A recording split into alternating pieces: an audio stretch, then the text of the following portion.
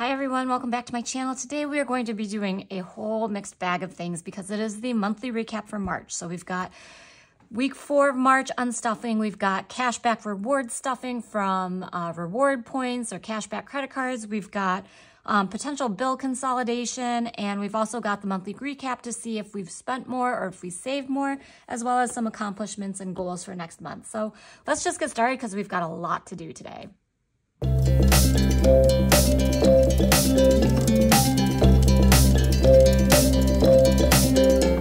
Okay, so to get started, I'm gonna just set off the recap stuff to the side because the first thing we always do is finish up the month of March by doing the last week's unstuffing. So first off, we're gonna get some change. We've got 5, 10, 15, 16, 17, 18, 19, 20, 1, 2, 3, 4, and 5.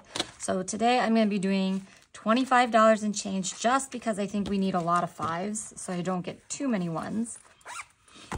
Okay, um, let's do a reverse order. Um, let's start with husband's binder. We're gonna do business number two, which we need to take out $10. So here we go. Please give us a 10. Yes, $10. We don't count when we unstuff, so at least what's not gonna be in the envelope because we will do that when we stuff it next week. And this one, I'm actually getting this out pretty on time. Today is April 1st, um, and I'm hoping to get the first weeks of April's unstuffing out on around the 3rd or the 4th. So wish me luck. Okay, next up, oh, wait a second. Going too fast. We have to unstuff my husband's envelope as well. So personal is gonna take out $19 and this is for food. So $20, get $1 back, and he will be left with that. Okay. There we go. And I apologize, I think the last video or two, I was kind of off frame almost. Um, it's always awkward for me to kind of tell how far I am, so I'm gonna make more of an effort to get further up in the screen. Um, okay, sinking funds.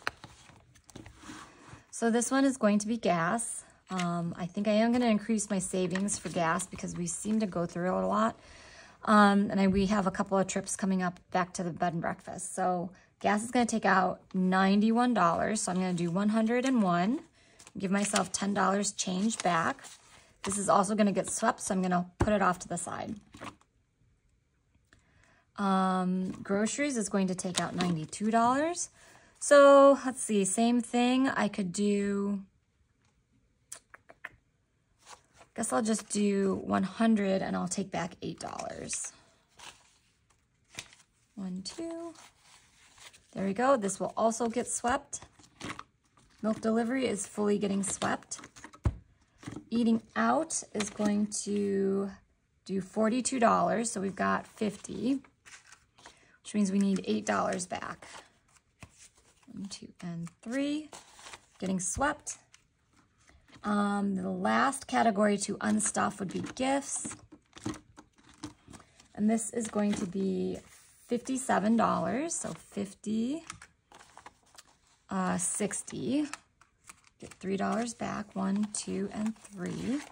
And this was for a gift from my nephew. We ended up getting him a little mini fridge because he is 15 and he is starting to do, you know, care about his skincare. So he's got a couple skincare products. He does have some, you know, teenage acne and stuff. And then I also thought it might be fun for him to store like a beverage or two. So it fits, you know, a couple beverages and then there's a shelf that you can adjust and can put some of his skincare products in there.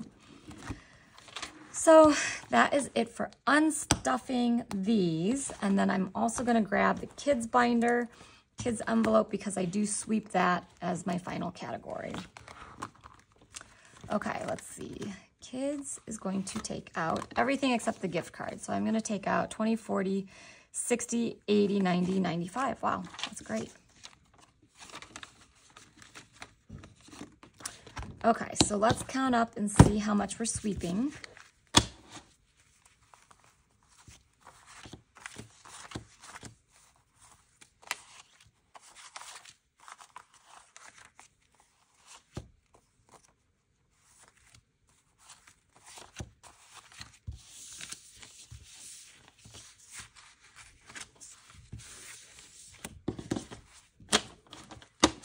Okay, we've got 20, 40, 60, 80, 100, 20, 40, 50, 60, 70, 80, 90, 200, 5, 10, 15, 20, 25, 26, 27, 28, 29, 30, 31, 32, 33, 34, 35, 36. So $236 um, is getting swept. Let me see. 1, 2, 3, 4, 5, 6, 7, 8, 9, 10, 11. Um, $236 is getting swept, so that will be put towards challenges next month, as well as um, this $11 is going to go into the $1 challenge next month. So pull that off to the side. All right, and then we should have $311 here that will go back to the bank. You know, I honestly thought maybe that sweep should have had one more dollar, so we'll see if this says 312. Uh, 102, 250, 70, 90, 3, 10, 20, 30, 35, 36, 37. Is that accurate? That can't be accurate. 100, 250, 70. Oh, I have to take out the, what did I do, 25. No wonder that didn't look right. Okay. So 100, 250, 70, 90, 310, 20, 310, 310, 320, 1, and 2. So I feel like we're actually $11 extra because I think we should only have 311. Okay, so first off, I know $1 should get swept. And then I guess we just do $10 extra to the bank. Because I did 15 plus another 10. Yeah, I'm not sure. I'll go back in the video and look. If you see where I made the mistake, let me know. But I guess I'll catch it in editing. So three, 250, 70, 90, 300. Oh, no. Oh, my gosh. 250, 70, 90, 300, 10, 11. Perfect. All right, so no mistake, just mistaken counting. So this will go back to the bank. And I apologize if you hear my son crying in the background. I think it's time for lunch. And sometimes at meal times, my kids just go feral. And it's like they know they're about to eat. And I think that maybe ramps up their anxiety. And so then, therefore, they get more crazy about it. I don't know. But if you hear crying, please know my parents are with him, making him lunch. Um, he is not uh, outside the door crying. Okay. So that is it for the expense. So next, let's do the cashback reward stuffing. Let me switch over my screens. So today for cashback rewards, I have $66 from um, my cashback Quicksilver card by Capital One, and I have $31 from Upromise. So Upromise is another online uh, website where if you buy things online and you filter it through the Upromise website, um, it will give you cash back. And traditionally, I think Upromise started off with student loans um, because before it had to be linked to a student loan that qualified and they would pay that back directly. But now it's kind of loosened up where they actually just give you the cash back. So it deposits into my bank. Um, so that gives us a total of $97. So 50, 70, 95, 6, and 7. Will go into cashback rewards. And we don't count this right now. Um, I just do this for the whole year and then I count it at the end. I'm not sure what we'll put this towards. Let me know. Maybe a trip, maybe a Louis Vuitton purse. I'm not sure. We'll see. um, okay, so then that brings us to, hmm, should we do a little bit of cash consolidation? Or should I just go into, you know what, maybe we'll just go straight into monthly recap. And maybe we'll do cash consolidation next week because I don't have um, an expense stuffing for the first week of uh, April. And so it's a little shorter video and this one gets really long. So sorry for the teaser, but we'll do cash condensing next week or really next couple days, the next video, um, when I do stuff all of my envelopes for the first week of April. And then that way we kind of know too if um, anything needs to be consolidated. Okay, so March, let me just pause and zoom in so people can see this a little bit better. There we go. Let me see if I do an angle. I always angle when I write, so yeah, I think you guys can still see. Okay, so what I like to do here is I like to say everything that I stuffed, everything that I spent, and whether I have a gain or loss here. So we're gonna kind of start it off and then cut it to the final result so you don't have to wait for me writing. Okay, so first week is 1,572. And I'll just do one week to illustrate. The first week's spending was 635. And as you can quickly see, that means that I had a gain of $937. So I saved 1500, I spent 600, and overall I saved more than I spent, right? So that's the little gain. I'm gonna fill out the rest of this chart and then we'll come back and do a quick recap. Okay, so we're back. So I filled in all the weeks that I stuffed, what I did for a total of $8,023. Now remember, this does include anything that I stuff from automatic transfers for 401k, for HSA accounts, and for my kids' 529 plans.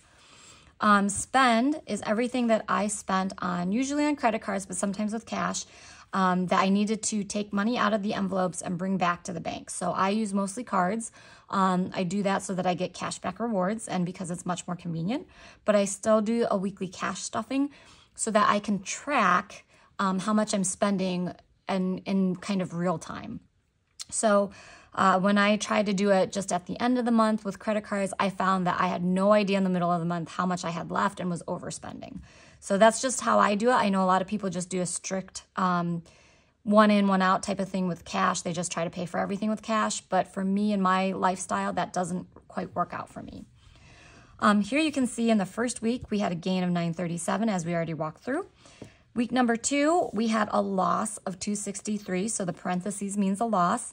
Um, I stuffed just over $2,500, but I spent more than $2,700, just over, under 2,800. And that was because I had a lot of medical bills that I ended up paying. So not great. I don't love that I was this week uh, at a loss, but at the same time, I know that overall, that's why I do these monthly recaps, is that at the end of the month, I still have a gain. So week three, 1500, just under a thousand. So we had a surplus of 503 that we saved. And week number four, a very large one, 2400 we uh, saved, 311 we spent, and a surplus of just over 2000. So as you can see, just over 8,000 we, we saved. I saved over the entire month. I spent um, 4,700, which is pretty high for me. Normally it's around, I'd say 3,500. And then we gained a total of 3,283. So just to kind of compare, we can see in February, we saved roughly the same. We spent far less, $2,000 less. And so therefore our monthly gain loss for February reflects that 2,000 gain. So not too bad. Um, the other thing that I like is that I can explain why I spent so much. It's not like, oh, I just ate out more and was buying more beauty products and, you know, had some I, don't even know, like more discretionary spending. It was specific to healthcare bills. Um, same thing I would treat if I had some major car repairs or household repairs. Like I know why we had to do it. It was a necessity. It wasn't something that was just, you know, kind of more frivolous. Okay. If you have any questions about how I set that up or what I do uh, regarding the week's spending and stuffing and the gain loss, please uh, just add a comment below. I love answering. This is kind of the more boring education part, but this is what I feel like helps people the most in their own financial journeys. Um, so let me know if you have any questions in the comments. I respond to every single comment. Um, I love interacting with you guys, and I really am passionate about this educational part. Okay, so investments, I have basically four categories of investments at this time. I have 401ks, I have a health savings account, which requires a high deductible medical plan through my employer. I do a 529 savings plan for my three sons. Um, and taxable, I have this old taxable account. I've mentioned it before. It only has one private stock in there right now. I am not focusing on adding to this right now, other than I'm looking into AI stocks. Um, but right now, I'm really just focusing on the 401k, the HSA, the 529, as well as just making sure that I have a good grasp on my budget every single month. And then there's a couple other things in the background um, that I'm spending, you know, paying down faster, like you know, mortgage things or, you know, things with the bed and breakfast business or, you know, doing some remodeling, that kind of stuff. So it's not all reflected here. Um, okay, so I started off, so these numbers um, at the start of the month is basically the old numbers from February. So as you'll see, I just took a straight up, copied these numbers from the end of February straight into the beginning of March. Um, contributions. So I listed these contributions and made a mistake with my HSA because that month was a little bit higher for my employer adding to it. But 633 is the normal amount. These numbers usually don't change very much because they are automatic contributions. Um, and then I'm going to go in and fill in the end and the gain loss. And the gain loss for investments is basically what the end minus the beginning minus the contribution because what I'm trying to measure here is not how much overall it increased. I want to know exactly how much the market, right? The market increased, not including my contribution. So my contribution and start are added together and they are subtracted from the total amount at the end of the month. All right, so we'll I'll be right back. Okay, so we're back. So first off, I made a little mistake, which I always do with these charts, but basically, here's my starting, here's my contributions, which were already there. I just totaled them at the end. So 263, 749 is the same amount as that we had at the end of February. Total contributions for this month is just under $3,000. So it's my 401k plus my HSA and my 529s. And then the ending amount is 272, 506. So when we calculate the gain loss, you're going to see right here in the 401k, we went from 227 to 235, so roughly a gain of $8,000. But we have to subtract the contribution so that I can get the true gain in terms of what the market is giving me. So the market, because it's been strong so far, has given me $6,000 in what I would quote free money, right? It's not money that I actually contributed. It is money that is being gained by the stock market doing the stock market thing. Um, same thing with HSA. We started at just 20,400 under, um, added 633. So that should have brought us about to 221 or 21,000. And as you can see, there was a gain of $227. Same thing with 529, a gain of 167 after contributing 150. And as taxable, I don't continue to contribute to it right now, but it actually went down. So the stock market for my private stock and for my 401k seem to do opposite. When my stock market 401k goes up, I feel like my private stock goes down and vice versa. Um, the other thing that I would say for this um, taxable account is it is full of Apple stock. And as of right now, Apple was just um, in the news for the DOJ, um, you know, bringing a lawsuit against them. So essentially, that anything like that can definitely impact your stocks, depending on what kind of stocks you have. Um, geopolitical, you know, actions like if there's some kind of you know competition in China or if they have to move some of their manufacturing factories, that's all going to play a part in you know Apple specifically, you know, the stock for Apple. Um, once again, though, we want to be very calm and cool and tortoise collect uh, investors. We don't want to be scared by the fact that this dipped $500 because you know what? In two months, it could go back up to $500. So, one of the things that you want to make sure you do if you do get into stock investing, and this is just my personal advice and it is not financial advice, but you need to go into it thinking that if you lose the money, it is money you can afford to lose. And secondly, for the most part, you just want to buy and hold. If you're looking to do a GameStop or a Chipotle type stock where you buy and then you get rid of it really quickly, you know, some people have success with that. I think most people do not. So if that is a strategy you are looking for, I'm never going to give advice on that or personal uh, information about that kind of stuff because that's not something that I believe works for most people. Um, there's plenty of channels that will promise you that, but for this channel, I very much follow um, the financial influencer uh, Tortoise, uh, the Tortoise. I'll put it in the link. I forget exactly what he's called, Tortoise Planner or something like that. But um, he takes the same approach of slow and steady wins the race. Um, he invests in index funds, and you know, I just find him to be very, very logical and in line with what my investing philosophy is. So there's a lot of information out there. Um, I encourage everybody to go find their own, but be very careful and make sure you try to get as much um, balanced information as possible. And if you're going to really go full fledged into it, consult a financial advisor who has a fiduciary duty. Um, so, fiduciary duty, I'll put it in the description, basically means their duty is to look out for your best interest, their client's best interest. Their duty is not to look out for their own. So um, I'm a lawyer. Um, a former lawyer, I guess you'd say, because I don't practice law. But basically, a lawyer has a fiduciary duty for their client. They have to do what's best for their client. It's not what they're supposed to do for themselves. So um, there's a lot of financial planners and um, people who will manage your money for you, and they do not have a fiduciary duty. They're in it to look to see if they can invest your money and get as many fees from you as possible. And that is not a fiduciary duty. Okay accomplishments this month. So I didn't really um, scope this out pre-video, which I normally do. So that one I, I might skip because I don't really remember. I guess one of them would be um, I started my health journey. Started health. Another one that I've been trying to do more and more is I'm trying to really take care of my skin. Um, I am really bad at just like I'm pretty good at washing my face before I go to bed and doing my skincare routine. But in the morning, sometimes if I'm not going to the office, I just kind of roll out of bed and just, I don't know, I don't put a lot of effort into it. So sometimes I don't really wash my face or whatever. Um, so skincare um, is something that I've been trying to really establish.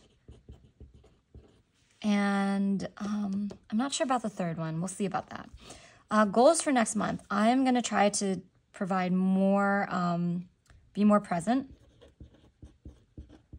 I have found in the last month or so that I've really been distracted and like thinking about things when I'm with my kids that I can really compartmentalize and take a break from. And other times, you know, be in the middle of the night and thinking about all the things I need to do the next day. So I'm going to really work on next month trying to be, if I'm doing work, just thinking about work. If I'm doing, um, you know, a video on my lunch break, just thinking about the video. If I'm doing, you know, activities with my kids, just, you know, literally putting my phone out of the room and just focusing on my kids.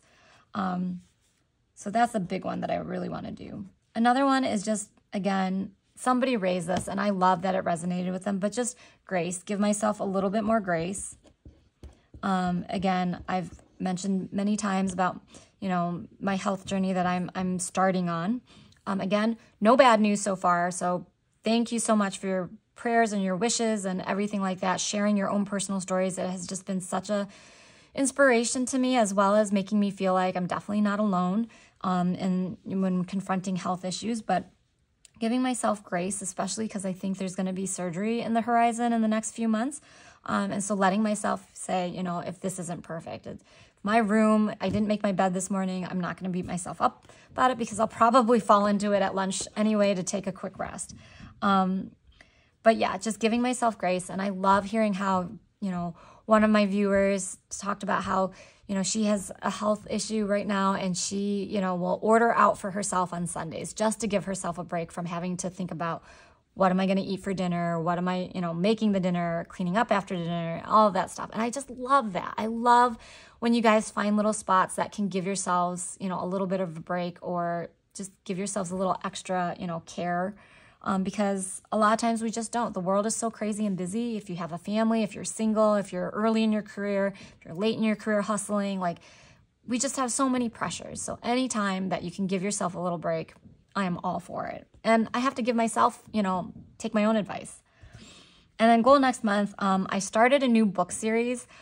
Technically, it's young adult. I was reading the first one because I wanted to give it as a gift to basically my niece. She's actually my husband's cousin's daughter, but we call her my niece.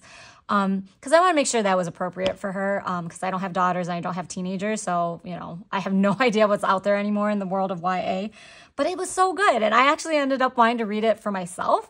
So right now I'm, I read the first two books and I'm about to read the third. And I think there's a fourth one out. It's called The Inheritance Games. I love it. There's there's a little bit of romance. There's a lot of puzzle mystery. Um, there's I don't know. I'll I'll also add it to the description if you happen to be interested in that kind of uh, those kind of books, or if you have anybody that you know family members that might be interested. Um, I would highly uh, recommend it to check it out. All right, so finish book series. All right, and that is it for today. It got pretty rambly at one point. It was also very disorganized because I kind of went in one direction and then swerved and backtracked. But Anyways, um, thank you for joining me. I personally, these are usually lower viewership, and I totally get that, but I love these monthly recaps, at least for me personally, and I encourage you, if you're on a financial journey, to do them as well, because it really shows you how far you come and if you're staying on goals. Like I said, this is just a snapshot between last month and next month, but I love seeing that at the end of January and the beginning of February, my retirement savings was around 250,000. And now at the end of this month, we've gained 20,000, right? I mean, that's just incredible. And I am about to have a big infusion from my employer because they deposit 401k and pension um, in the beginning of April. So for the first video of April, so a couple days, um, we're going to have some placeholders for that. And I'm very excited to share that with you guys. So thank you all. Um, add comments if you have any questions on anything that I've gone over. If you are looking for, you know, how I do things or looking for advice on doing a recap, um, let me know. And I hope you guys have a great rest of your day and we'll see you in the next video. Bye.